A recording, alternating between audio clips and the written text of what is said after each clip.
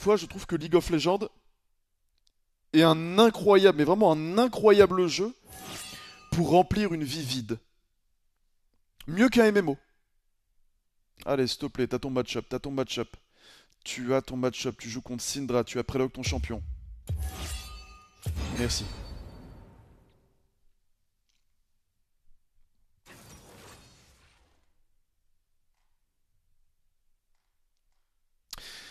Parce que vraiment, League of Legends, quand tu plonges dedans et que ton seul et unique objectif c'est de t'améliorer, de, jouer pour être meilleur, etc. Ah, tu peux avoir la vie la plus vite que tu veux, tu peux être aussi triste que tu veux, aussi déprimé que tu veux, t'inquiète, ça va tout remplir. Le jeu va tout prendre. Les journées vont s'enchaîner. T'auras même pas le temps de penser au fait que t'es triste.